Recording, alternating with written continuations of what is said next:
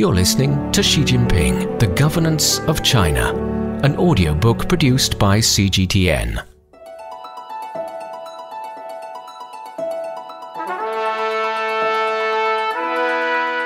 What has the CPC learned from its trials and tribulations?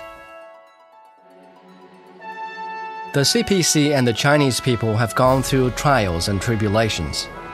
These experiences have taught us that peace is precious and development must be valued. With confidence and pride, the Chinese people will be steadfast in upholding our country's sovereignty, security, and development interests. We will also work with other nations to build a community with a shared future for humanity and make a new and greater contribution to the noble cause of peace and development for all humanity. In 2020, we will achieve moderate prosperity in all respects throughout the country. This is a society to be enjoyed by each and every one of us. On the march towards common prosperity, no one will be left behind. We will mobilize the whole party and the whole country in the resolute push to deliver on our pledge, eradicating poverty in China.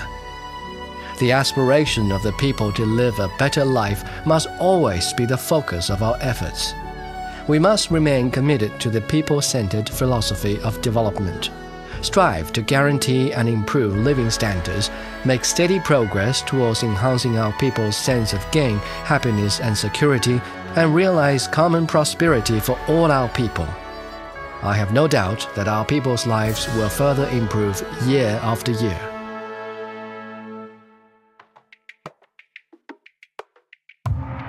In 2021, we will mark the centenary of the CPC.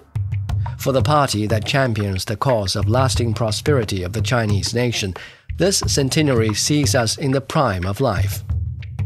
As the world's largest political party, the CPC must behave in a way commensurate with its status. History makes it abundantly clear that our party is equally capable of leading the people to spearhead a great social revolution and engaging in significant self reform.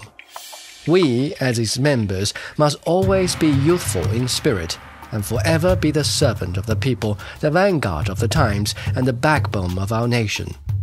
Exercising full and rigorous governance over the party is a journey to which there is no end. We should never entertain the idea of slowing our pace or halting our step for a break.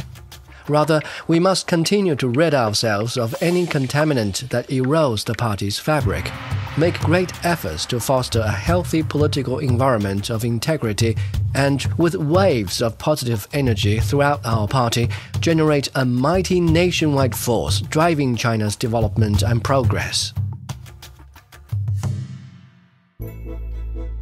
The people are the creators of history. It is to them that we owe all our achievements. As long as we keep close ties with the people and rely on them, we can and will have boundless strength to forge ahead whatever the circumstances.